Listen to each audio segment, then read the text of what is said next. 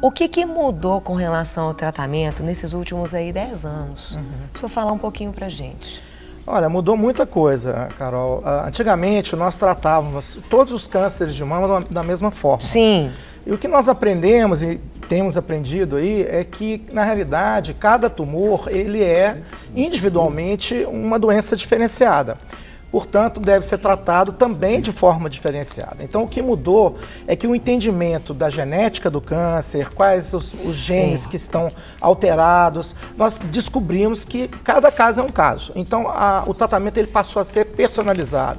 Ele passou a ser customizado, como o alfaiate. O alfaiate não faz o mesmo terno para todos os homens. Tem os homens mais altos, mais baixos, mais gordos, mais magros. Mesma coisa é o câncer.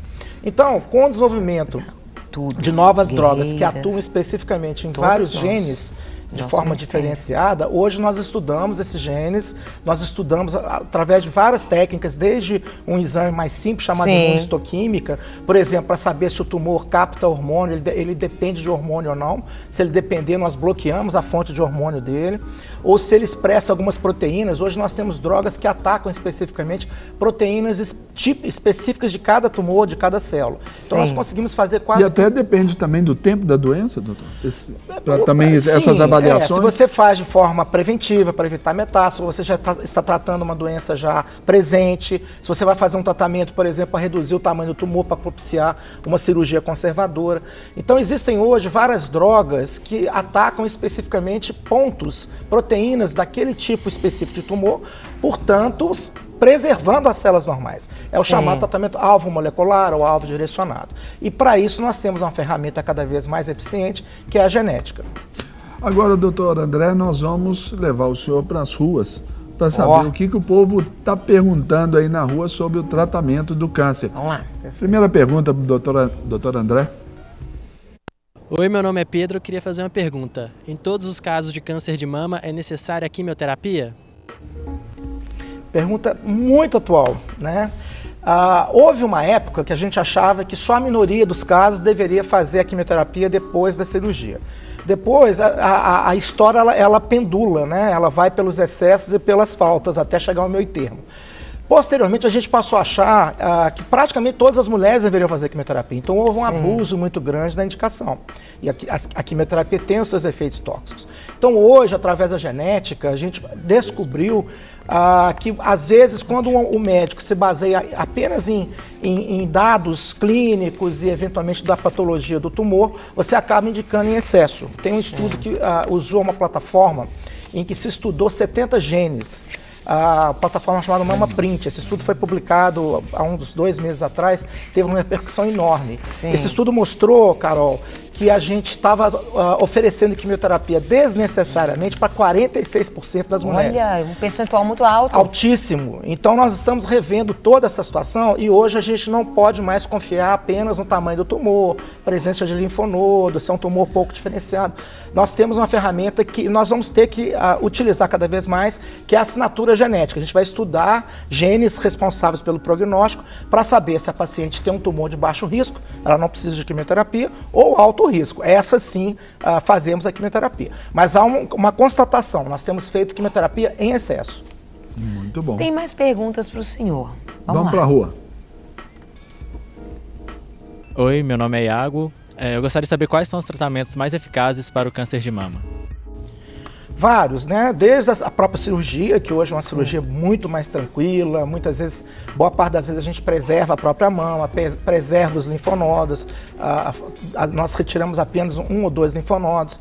A radioterapia melhorou muito, a gente comentou isso na, na, semana passada. Antigamente a radioterapia queimava o pulmão, queimava às vezes o coração, queimava a pele. Hoje o tratamento é muito mais tranquilo, né? Ah, e o tratamento sistêmico, as drogas também melhoraram muito. Sim. Tanto os agentes hormonais são muito mais seguros hoje, a própria quimioterapia também, o suporte que a gente dá para evitar o efeito, efeito colateral. colateral tem, tem reduzido? Reduzido doutor? bastante. Praticamente hoje a gente não vê mais, Carol, oh, enjoo e, e, vômito é, após a quimioterapia, que era uma coisa que era muito problemática. E as drogas alvo moleculares também, elas, elas vieram cada vez mais. A gente trata de uma forma muito mais inteligente o, o tumor.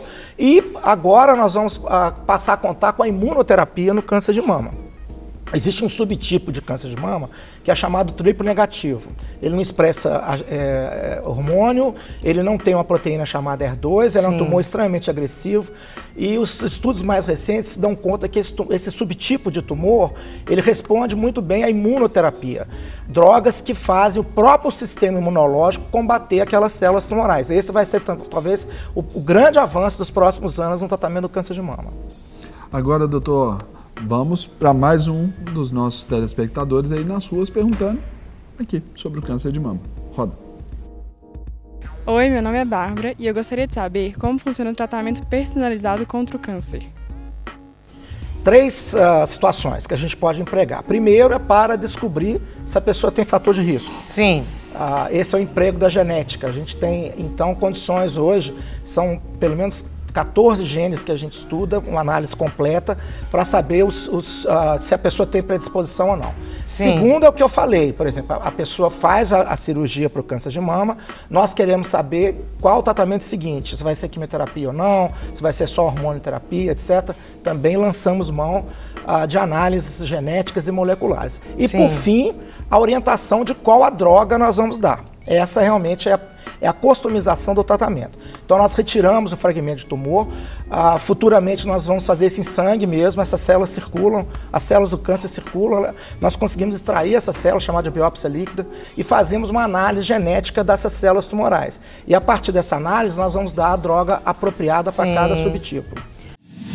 Para receber todas as novidades do canal, inscreva-se e se curtir o vídeo, clique em gostei. Aproveite para acompanhar a Rede Super nas redes sociais.